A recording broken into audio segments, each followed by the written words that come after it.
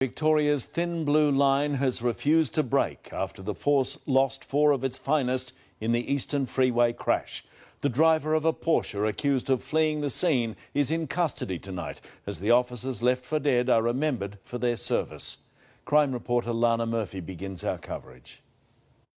A fugitive now in the firm grip of police. Porsche driver Richard Pusey didn't just flee the carnage, he left four officers to die on the side of the Eastern Freeway. Masked, cuffed, and flanked by eight detectives, the 41 year old at the centre of a citywide manhunt following the single deadliest incident in Victoria Police's history. The whole police family is feeling that this morning and will for many, many days to come. The four officers on the dreaded roll call Constable Glen Humphris, still in training after graduating just a few weeks ago, leading Senior Constable Lynette Taylor, who'd recently changed roles after years in the force, Senior Constable Kevin King, a father of three and Nunawading Highway Patrol member who took the fourth victim, Constable Josh Prestney, under his wing in his first few months in the job. Officers just doing their work, doing their job, doing a duty that is performed by officers uh, many times a day across our state.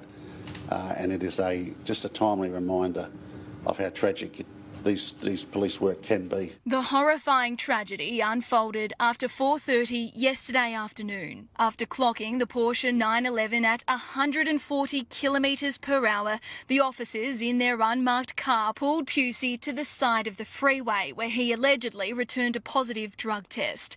The Highway Patrol unit was called to impound the car and the driver ordered to exit the vehicle. That's when the refrigerated semi-trailer moved from the flow of traffic into into the emergency lane, continuing at a speed of 100 kilometres per hour. It struck the marked police car first, the force sending it flying into the centre median strip, before striking the white car and the Porsche, which became wedged beneath the cabin. They were dealing with this uh, person, dealing with the impound situation, and uh, have, have, obviously uh, had next to no warning that uh, that the truck has arrived. But instead of running to their aid, Pusey simply ran. The driver of the truck blacking out after witnessing the carnage. Father of two, Mohinder Singh Bajwa, transported to hospital.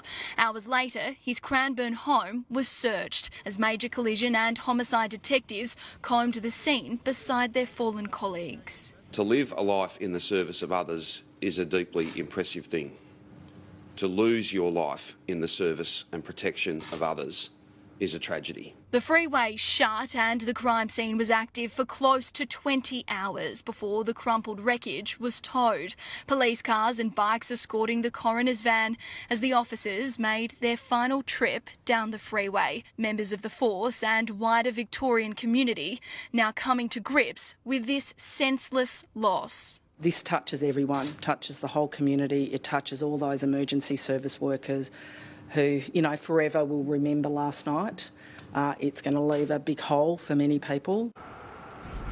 And Lana's outside the Royal Melbourne Hospital. Lana, have detectives spoken with the truck driver yet?